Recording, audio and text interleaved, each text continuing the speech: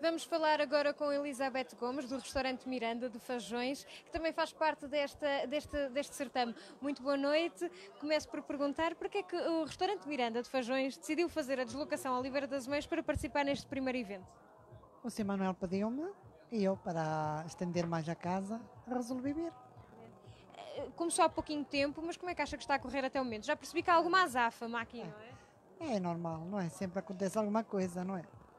E quais é que são os pratos, os sabores que, que as pessoas aqui podem degustar? Nós temos frango frito, temos moelas, temos rissóis, bolinhos, eh, fazemos pregos no pão e amanhã fazemos grelhados, os nossos grelhados. Costeleta de vitela, costeleta de porco, febras, frango no churrasco. Está a ser uma boa experiência até o momento. É, é uma experiência diferente. Considera importante existir este tipo de iniciativas? Sim, acho que é muito importante. Ajuda a promover os sabores? Sim, sim, é, é diferente, é diferente. Quais é, qual é que é o grande objetivo que tem para a sua participação aqui? Nem sei dizer, é dar mais conhecimento à casa, não é? Porque a casa é muito conhecida pelo frango frito, ela sempre foi famosa pelo frango frito.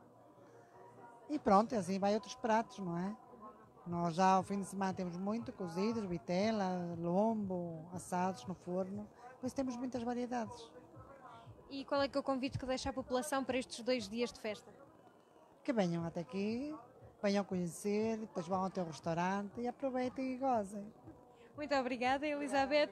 Palavras então do restaurante Miranda, que trouxe a Oliveira de Azeméis, entre outros sabores, a sua especialidade de há muito tempo, o frango frito. Fica então o convite para passar neste espaço e também degustar aqui ah, mais sabores, desta vez feitos oriundos de Fajões.